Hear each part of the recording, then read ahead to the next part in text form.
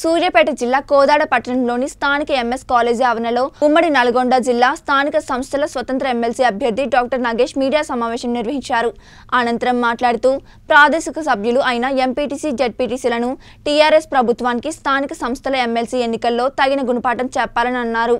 ఎంపీటీసీలకు జడ్పీటీసీలకు నిధులు మంజూరు చేయకుండా వారికి కనీసం గౌరవం ఇవ్వకుండా ఉత్సవ విగ్రహగా మార్చిన ఘనత సీఎం కేసీఆర్కే దక్కుతుందన్నారు. స్థానిక ప్రజాప్రతినిధులు ఆలోచించి ఈ ఎన్నికల్లో తనను గెలిపిస్తే సీఎం కేసీఆర్ కళ్ళు తెరిపించేలా నేను చూసుకుంటాను. కేసీఆర్కి ప్రభుత్వాన్ని బద్దలు చేస్తామని అన్నాడు. ఈ కార్యక్రమంలో పంచాయతీరాజ్ ఛాంబర్ రాష్ట్ర కార్యదర్శి శ్రీనివాస్ ఎంపీపీల సంఘం రాష్ట్ర ఉపాధ్యక్షులు నూతి రమేష్ కౌన్సిలర్లు సంఘం రాష్ట్ర కన్వీనర్ ప్రమోద్ కుమార్ తదితరులు పాల్గొన్నారు. ఎన్నికలప్పుడు క్యాంపులు వేస్తుంది. కొన్ని లక్షలు ఖర్చు పెట్టి మళ్ళీ వారం పది రోజులు విహారయాత్రలు విందు విందు వినోదాలకి ప్రలోభాలకు గురి చేసి ప్రజాప్రతినిధులు కూడా ప్రజల్ని ఎట్లా మోసం చేస్తున్నారో ప్రజాప్రతినిధులను కూడా అట్లే మోసం చేస్తున్నారు. కాబట్టి ప్రజాప్రతినిధులు అందరూ కూడా పార్టీలకు ఖచ్చితంగా ఆలోచించాలని ఇది అసలు మేము పోటీ చేయకపోతే అంత యునానిమస్గా అయ్యేటువంటి పరిస్థితి ఉంది. ఇప్పటికైనా అధికారంలో ఉన్నటువంటి ప్రజాప్రతినిధులందరూ కూడా ఎంపీటీసీలు జడ్పీటీసీలు కౌన్సిలర్లు మనస్ఫూర్తిగా గుడి మీద చేసుకుని ఒకసారి ఆలోచించాలి. అసలు ఈ పోటీ లేకపోతే యునానిమస్ అయితే మీకు ఛాయనీళ్ళకు కూడా పిలిచేవాళ్ళ? మీ వాళ్ళు మీ మీకు ఎప్పుడన్నా ఫోన్ చేసి రమ్మనేటోళ్ళ? ఇది చేస్తాం అది చేస్తాం అని అడిగేటోళ్ళ? దీన్ని మీరు ఒక్కసారి గమనించండి. ఈ వారం పది రోజుల తర్వాత ఈ పదో డిసెంబర్ పది తర్వాత ఏ ఒక్కరైనా మీకు విలువిస్తారా మంత్రులకు ఎమ్మెల్యేలకే అపాయింట్మెంట్ లేని పరిస్థితిలో ప్రభుత్వం నడుస్తుంది. మరి ఎంపీటీసీలు కౌన్సిలర్లు జడ్పీటీసీలు ఎవరి దగ్గరకన్నా పోయి మాట్లాడి సాధించేటువంటి అవకాశం ఉందా? మన హక్కుల్ని ఖచ్చితంగా ప్రభుత్వం ద్వారా ప్రకటించే చేసేటువంటి పరిస్థితి ఉందా? లేదు. ఇప్పుడున్న వాళ్ళు గెలిచిన వాళ్ళు ఎవరన్నా కౌన్సిల్ని స్తంభింపజేసి ప్రభుత్వం దిగించే వరకు ఆ హక్కులు సాధించే వరకు పోరాటం చేయగలరా? ఇప్పుడు పోటీ చేసి గెలిచే వాళ్ళు పోటీ చేస్తున్న వాళ్ళు ఎవరైనా ఉన్నారా అట్లా? దయచేసి మీరు ఆలోచించాల్సిందిగా నేను విజ్ఞప్తి చేస్తున్నా ప్రెస్ ద్వారా. ఎందుకంటే అధికారం అనేది మీకు రెండు సంవత్సరాల తర్వాత మళ్ళీ దూలా దూలా మనందరం ఎమ్మెల్యేల కోసం ఎంపీల కోసం పోరాటం చేయాలి తప్ప మన కోసం వినటోడు లేడు. కాబట్టి నేను జడిపిడిసిగా యాదాద్రి భువనగిరి జిల్లా ఫ్లోర్ లీడర్గా నేను ప్రత్యక్షంగా అనుభవించి చెప్తున్నాను. ఎమ్మెల్యేగా చూశాను శాసనసభలో ఏ రకంగా చేయాలో తెలంగాణ ఉద్యమాన్ని ఎట్లా చూశానో.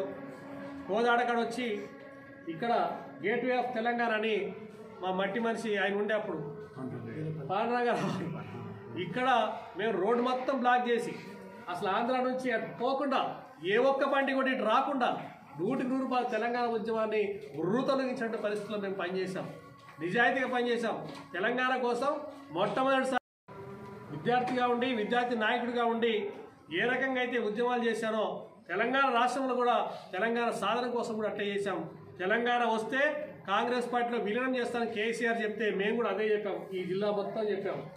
ఆయన మాట తప్పిడిగా నేను కాంగ్రెస్ పార్టీలో చేరిన. రెండు వేల పద్నాలుగు తెలంగాణ ప్రకటించిన కాంగ్రెస్ పార్టీ చేరిన అవకాశం ఉందా లేకపోయినా అట్లే ఉన్నా. ఇప్పుడు నేను జడిపిటిసి గెలిచిన కాబట్టి స్థానిక సంస్థల ప్రజాప్రతినిధుల కష్టాలు చూసినా కాబట్టి దీనికోసం నేను కూడా తలంచుకొని ఉంటే ఏం లాభం? కనీసం పోరాటం చేద్దాం. ఈ వారం పది ప్రభుత్వాన్ని కళ్ళు తెరిపిద్దాం. ఇకనైనా ప్రభుత్వం మారి ఈ ఎంపీటీసీల జెడ్పీటీసీల కౌన్సిల్ సమస్యలు పరిష్కారం చేస్తున్నటువంటి ఆలోచనతో నేను వచ్చాను. వేరే ఉద్దేశం ఏమి లేదు. నేను క్యాంపులు వేసేటోని కాదు లేదా డబ్బులు ఇచ్చేటోని కాదు లక్షల కొద్ది నేను సంపాదించలే నేను ఉండేది కిరాయి ఇంట్లోనే నాకు ఏమైనా నిస్వార్థంగా సేవ చేయాలన్న తపనతో వచ్చింది తప్ప వీళ్ళ హక్కుల కోసం వచ్చిన తప్ప నాకు వేరే అత్యాశ మట్టికి ఏం లేదు. నేను ఎన్ని ప్రలోభాలకు పెట్టినా కూడా ఎక్కడ లొంగలేదు. నేను విత్ అని మాకు ఎన్ని రకాల ప్రశ్నస్ వచ్చినా నేను దాన్ని ప- బేఖాతరు చేసి పోటీలు నిలబడి ఎంపీటీసీల జడ్పీటీసీల కౌన్సిల్ గౌరవం కాపాడడం కోసం ఉన్న మీరందరూ ఆలోచించండి. మా కేసీఆర్ చెప్పేటప్పుడు రెండు వేల నాలుగు మా ఎన్నికలు మా యాదగిరిగుట్టకు వచ్చి ఎవరన్నా డబ్బులు ఇచ్చినా ఒట్టు పెట్టమన్నా ఫస్ట్ ముందే ఒల్లెక్కలు మనసులో. ఒళ్ళెక్కలని మనసులు అనుకొని తర్వాత ప్రమాణం చేసి ఎట్లా ఇది ఒళ్ళెక్కలే కదా అని మీరు ఏమైనా చేసుకోవచ్చు అని చెప్పేటోడు నేను ఇప్పుడు అదే చెప్తున్నా.